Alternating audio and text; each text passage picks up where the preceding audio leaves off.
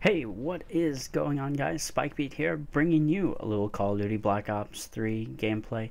In the background here is a little bit of hardcore domination using the Pharo SMG. By far, definitely not my favorite gun, and that's actually part of the reason why I'm playing hardcore. I love hardcore. I can definitely get a lot more kills usually, and I get just everything usually goes a lot better for me.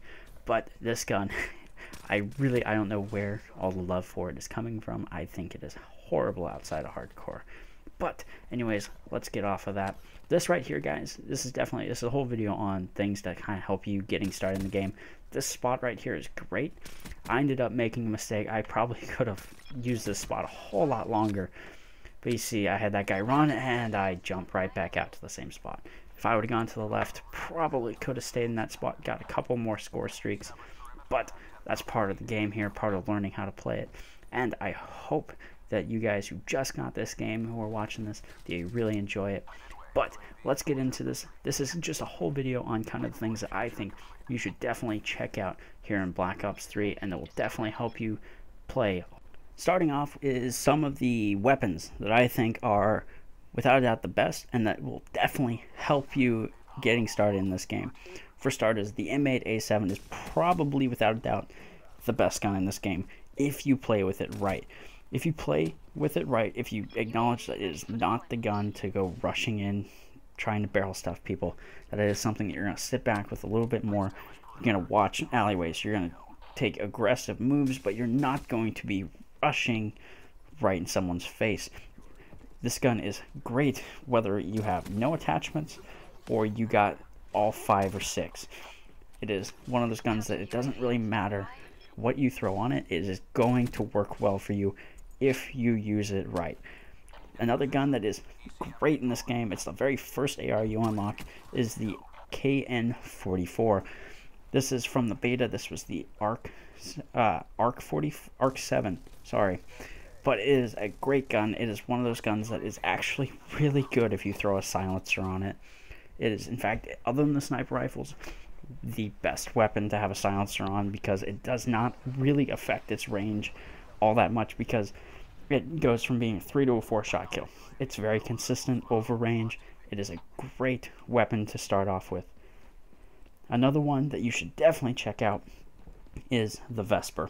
The reason I say this one is so great is one, the competitive players are huge fans of it, but more from my own personal experience, I am currently trying to get all of the weapons gold. I'm trying to get diamond on everything, trying to get black matter.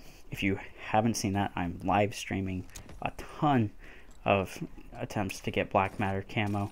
You should check that out on my channel. But anyways, the Vesper is the fastest weapon I've had yet at getting any of those weapons up to gold. I think I did the Vesper in two nights, whereas most guns I would spend a week after school. This one took me two nights and the thing was gold, and it looks beautiful with the gold camo. Just because I know how big sniper rifles are, I am going to talk about them just a little bit here in this game play. If you are brand new to this game, throw a silencer on your sniper rifle. It has no negative effects. It does not affect the one-shot kill areas of the body. It does not affect the range. It literally does nothing to the sniper rifle except for make it to where you are invisible on the map you don't show up, people can't hear you, you can go on far longer streaks because no one knows where you're at. It does not hurt you in any way. Definitely give that a shot. Another thing to throw onto your sniper rifles is the thermal sight. I picked one of these up the other day and it was amazing. They work great in this game. It is just a fantastic sight. It was actually here on Redwood. I was playing in core before I decided to switch over to hardcore for this uh, gameplay. I was using this gun. I actually managed to do really well. I was in the bunker. And I took out a whole bunch of guys and ran out of ammo. So I picked up this guy's sniper rifle. I'm pretty sure it's the Locust. That's what it's called. And it had the thermal sight on it. And it was absolutely crazy. The thing just wrecks. Um, looking out this way, I think I got a quad feed with it because it is just that easy and that powerful to use. So I highly recommend that you pick up the Locust or any sniper rifle, throw a silencer on it, and throw a thermal on it. You will not regret it. Now, getting into the perks, what is without a doubt in my mind the best perk in the whole game would be awareness. If you haven't used it, throw it on. Get to the level where you unlock it, put it on, you will not regret it. It is so amazing. I was playing on Aquarium and I ended up just sitting there for the as long as I could because I could hear everyone trying to run up and get a line of sight on me and to take them out before they even knew exactly where it was that I was capturing the flag from. It is a great perk and especially use it in conjunction with the blast suppressor perk. It is an amazing perk. Yeah, it takes you off the mini map. It makes you to where you can use this movement system to its maximum potential, which is great. But it makes it to where you can hear more. You aren't constantly hearing yourself jumping everywhere. You're not constantly being just deafened by that noise, which you're amazed when you put blast suppressor on how much quieter this game can be, how much louder the enemy can be when you are playing. It is just, it's, I highly recommend it. If you haven't used it, throw those two on and just go wild. You, as far as score streaks go here in this gameplay, you definitely want to keep the Talon on. It is the first big score streak that you end up unlocking in this game, and it is probably one of the best in the game. Now, they recently buffed it so that it has a better AI for following you around. Yeah, that's great. It does decent. But if you really want to use this thing to its maximum potential, you really want it to be something that you are using the way it is supposed to be used, throw it up in the air, find a good place to hide, and take control of that thing.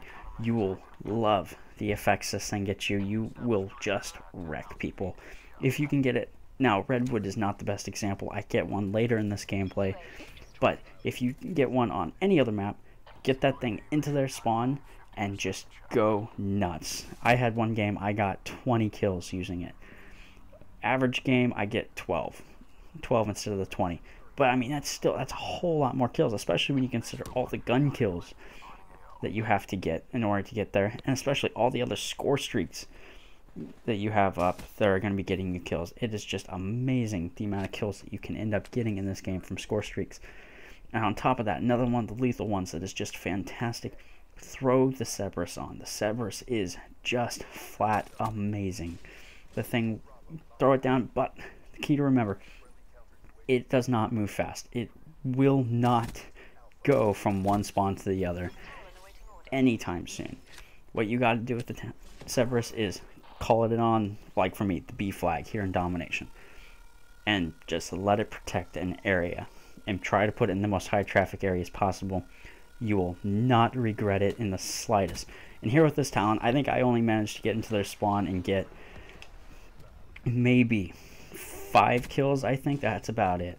But I mean, that's still, that's a whole lot more kills than I would have gotten otherwise. I ended up getting taken out about half health.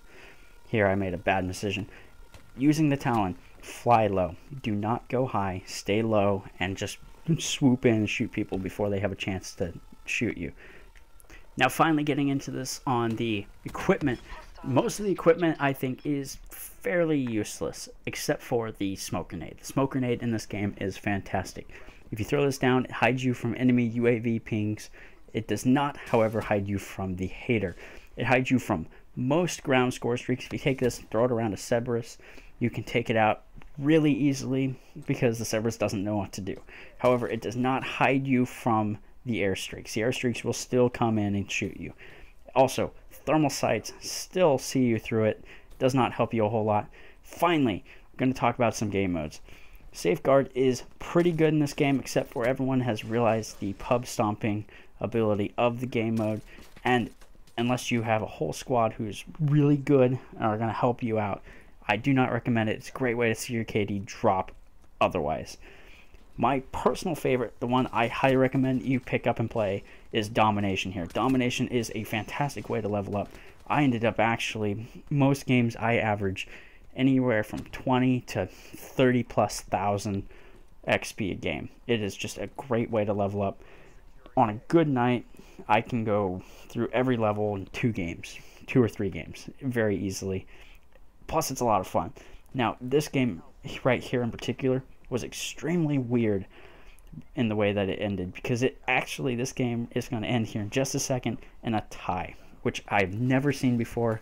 I really like this new way of uh, doing the time on domination that Treyarch's using by having it be entirely score based. But yeah, I hope you guys enjoyed that gameplay. I thought this was a really cool game. Ends in a tie at 200 points. It's a 45 and 23 gameplay, I think. Just a great game. If you guys are new, be sure to subscribe for more gameplay. If there's any videos in particular that you want to see, any bit of advice you want to see, just comment it down below and I'll do my best to make a video on it. Thanks for watching, guys.